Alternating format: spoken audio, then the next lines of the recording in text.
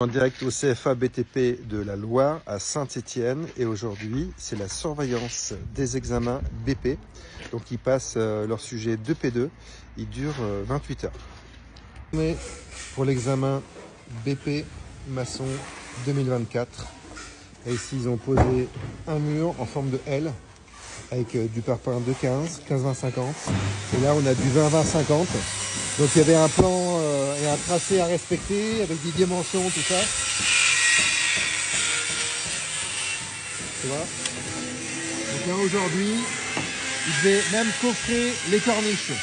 Il y avait un coffrage de corniches à faire. Et là on voit le sujet. Le sujet vu au sol. Voilà. Un mur avec un biais, les jambages. Et là ici le retour en moins long de 15. Voilà. Et vu en perspective, ça donne ça quoi. Voilà.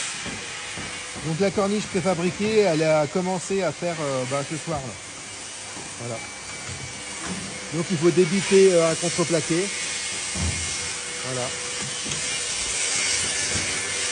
Donc vous voyez, ils sont déjà en train de tracer.